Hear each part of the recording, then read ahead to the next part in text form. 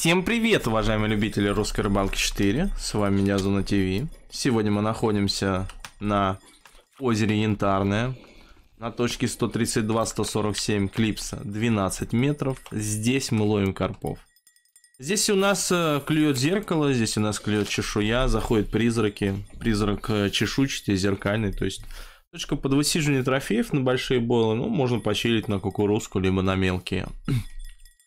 Итак, 132-147 клипса 12 метров находится это в верхней части карты, то есть появляемся на базе тупо волосы назад таким маршрутиком, добегаем или на квадрике. Вот, значит, а, закидываемся, три сборочки у нас одинаковые, сейчас я их продемонстрирую. То есть я ловлю на цитрусы, то есть это лимон у нас 14, это у нас цитрусовые, цитрусы и цитрусовая кислота. Используя хинстив, стандартный карпа, это у нас литкор под глину, флюорокарбоновые поводки. А, лимон 14, цитрусы, цитрусовая кислота и вот такая ПВАшечка. Молотый горох, опарыш кукуруза, сладкий цитрон или сочный лимон дробленый и смесь цитрусовых у нас ПВО, это ароматизатор. Все три сборочки у нас одинаковые. На данной точке я нахожусь сколько, сколько, сколько, сколько? Полчаса нахожусь. За это время у нас 27 хвостов.